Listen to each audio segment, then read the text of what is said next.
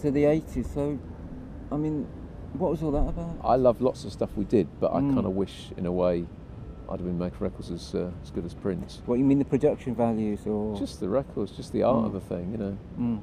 I didn't have the looks or the talent. I think I had the height. I. I think yeah, but we, I think we're always hankering after something that we can't quite reach, and I think there's a lot of people who would, you know, love to make records like you did. I think, you know, certainly.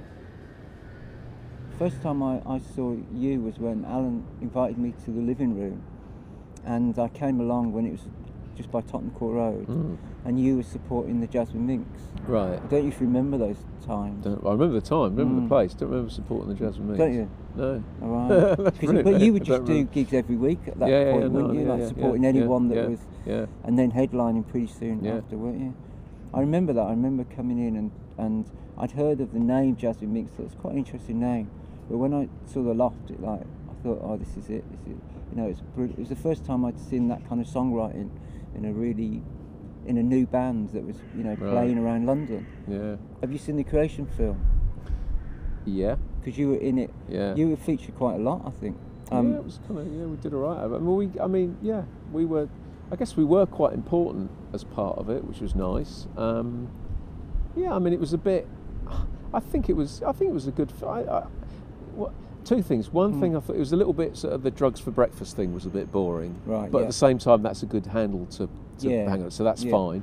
Um, and the other thing that I did quite like was that Mm. everybody came out of it as quite decent people, which I thought was pretty cool. Did you go to the premiere of it? Uh, yeah, yeah. It was it was it was pretty scary seeing yourself that big, Mm. thinking, "Please don't say anything stupid." You know, I mean, I, I think I, I think I said it in the film, but it's true. Oh, yeah. You always thought, "God, I wish we were the real thing." But actually, when you when you see the film one place, you're like, "God, what a bunch of Mm. what a bunch of fantastic Mm. idiots everybody was," which I thought was brilliant. I remember thinking, if I if Mm. I can get in the, the number twenty seven in the indie charts, I'll, I'll have made it. I thought it was Why Does the 22. Yeah, no, 27, 22. I can't- I- 27, Wherever yeah. it was, Does the Mm. Rain went about four places higher, and I thought, that's it. That's I've done it. That was your fatal mistake, wasn't it? Absolutely. You yeah. should have had a little bit of foresight. But I think that was in a way the fatal Mm. mistake of all the early creation books. Nobody ever thought we were actually going to, you know, do anything. And then, uh, and then of course, and then you Mm. have a band like Oasis playing Yes. Knebworth with all the stagecraft of the servants. Do you know what I mean? Yeah, it's they, got everything they live from the servants. Do you know what I mean? It's remarkable, Well, isn't it? It's not we- fair on Liam, but yeah, they just stood No, there yeah, and but sang. we, you we were yeah. criticised for so many years for just standing there and delivering our songs, and then in the end, Yeah, you know, it's Yeah. two nights at Knebworth. yeah, yeah. I'm going to do a record for Shania Twain. That's my new idea. Wow, It's called Songs for Shania. I'm going to write a whole album love of that. idea. country hits, contemporary Mm. country hits. I've been listening to people like uh, Steve Gillette, um, Clive Gregson, who used to produce Weather Prophet sessions, you know, and uh, Nick Lowe, and all those kind of proper grown-up Yeah. Nashville songwriters. And I'm going to make my fortune. Wow, Then I really am going to retire. that's a really good. That is a That's really good plan. idea. So That you're is- going to release a record called "Songs for Shania Twain," Yeah, not Songs actually given to her. Not, not actually given to. her. Just, I know, I like that. I, like, I, I, I saw. And maybe she'll hear it somewhere along the Well, line. I, I saw a great Mm. outsider art exhibition Mm. in Paris when we were playing actually, and, and, and I thought I can write this deluded record, Mm. which is going to be done all probably on little organs and drum machines, and I'm going to write all these songs which are made for Shania Twain to Mm. cover, um, and it'll be and I'll maybe do a hand painted cover of Mhm. you know a painting of Shania Twain. Yeah, yeah, your own self, yeah, por- your yeah. own portrait of Yeah. Shania Twain. I, I need to listen like to some more idea. Shania Twain Yeah. records because I only know the one that's the Uh, video, but wow. I'll listen. To, that's the plan. I, so I that's, don't know any yet, so. I'm going to check her out. D- don't you think that like songwriters have been given like a new lease of life with?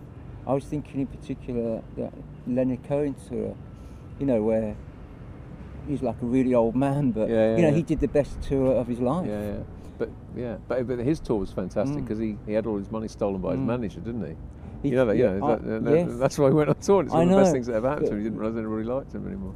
Well, yeah, it, that provoked him into action, Yeah. but but I think um, it, he he proved that you know you can still you can be a singer songwriter at seventy and and maybe do your best work.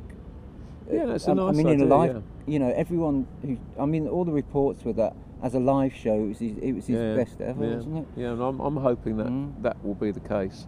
Yeah. I'm sure it's not the case, but I'm hoping it will be. Well, you've got- That's what I'm banking on. Yeah, we've got a long way to go before we're 70. So, I just, I just think that you know, it's never over really for for singer-songwriters, is it?